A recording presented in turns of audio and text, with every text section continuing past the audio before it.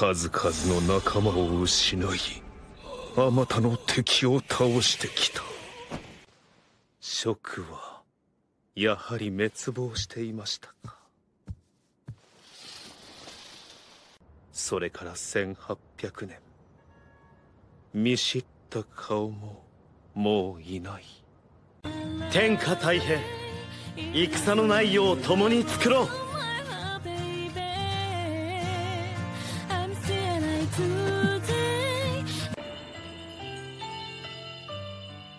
我が君。我が君。なんと。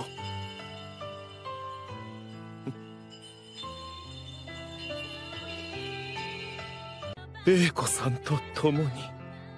成し得なかった天下太平。分からず終わった世界の真理。今世こそ。